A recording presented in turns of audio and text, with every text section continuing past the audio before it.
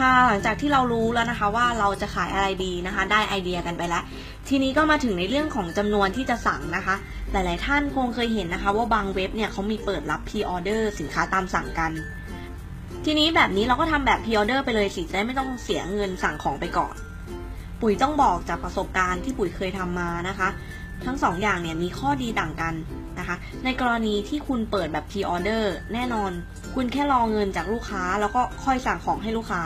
เงินก็ไม่จำเป็นต้องออกก่อนนะคะ นี่คือข้อดี แต่ปัญหาคือคุณคิดว่าจะมีสักกี่คนที่จะมานั่งรอของของคุณได้อะคะถ้าสำหรับตัวปุ๋ยเองเนี่ยปุ๋ยเป็นคนใจร้อนเวลาปุ๋ยจะสั่งของเนี่ยปุ๋ยจะไม่สั่งร้านพ r ออเดอร์ที่ต้องรอเป็นอาทิตย์เป็นเดือนนะคะ เพราะฉะนั้นร้านไหนมีของเลย โอกาสในการขายคุณย่อมมีมากกว่านะคะ ใครๆก็อยากซื้อของที่ซื้อแล้วได้เลยนะคะ ไม่ต้องมานั่งรอ ปุ๋ยเคยทำตอนแรก ๆ ที่ขายเนี่ยค่ะ ปุ๋ยเปิดแบบพ r ออเดอร์ลูกค้าที่โทรมาพอรู้ว่าเราไม่มีของอะ่ะเขาก็จะพูดประมาณว่าเออเดี๋ยวโทรกลับมานะครับ เดี๋ยวโทรกลับมานะคะอะไรอย่างเงี้ยแล้วก็เขาก็หายไปเลยค่ะ แล้วพอเขาไปเจอร้านที่แบบมีของให้เขาเลยอะ่ะเขาก็ยินดีที่จะซื้อกับร้านที่มีของเลยนะคะ การพ r ออเดอร์เนี่ยปุ๋ยว่ามันเหมาะกับสินค้าที่ผูกขาด คือมีแค่เจ้าเดียวในตลาดหรือเป็นแค่เจ้าเนี้ยที่สามารถหาได้ หรือเป็นสินค้าตามสั่งตามสเปค เขาถึงจะยอมสั่ง แล้วก็รอของจากคุณนะคะ แต่ถ้าเกิดของที่คุณขายมันไม่ได้ผูกขาด โอกาสในการขายได้เนี่ยย่อมน้อยกว่านะคะสำหรับคำแนะนำของปุ๋ยเลยคือ มือใหม่ที่เริ่มอยากขายสินค้าจีนในเว็บอะค่ะ ควรจะสั่งสินค้าที่คุณจะมาขายเนี่ยอย่างน้อย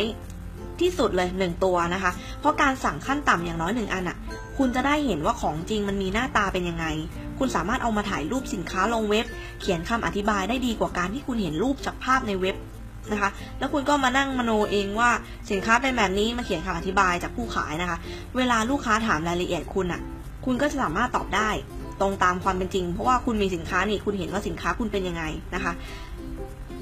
แล้วลูกค้าเขาก็ไม่ได้มารู้กับคุณด้วยว่าคุณมีของแค่ชิ้นเดียวนะคะ เพราะฉะนั้นการสั่งสินค้ามาแค่ตัวเดียวอะแต่มีสินค้าครบทุกอย่างในเว็บอะ ถือเป็นการสต็อกที่ดีนะคะ เพราะว่าถ้าเกิดตัวไหนขายดีเราก็สั่งมาเพิ่มได้ ตัดปัญหาเรื่องทุนจม สั่งมาแล้วคาดว่าจะขายได้แต่ขายไม่ได้นะคะ ก็คำตอบง่าย ๆเลย คือคุณควรจะมีสินค้าทุกชิ้นในร้านอย่างน้อยหนึ่งตัวสำหรับการเริ่มต้นนะคะ และหลังจากการลองตลาดไปแล้ว คุณก็จะรู้ว่าสินค้าตัวไหนขายดี ทีนี้ก็สั่งมาเก็บไว้เป็นสต็อกตามความต้องการของลูกค้าได้เลย ครึ่งโหลโหลหนึ่งสองโหลนะคะ ก็แล้วแต่ทุนของแต่ละคน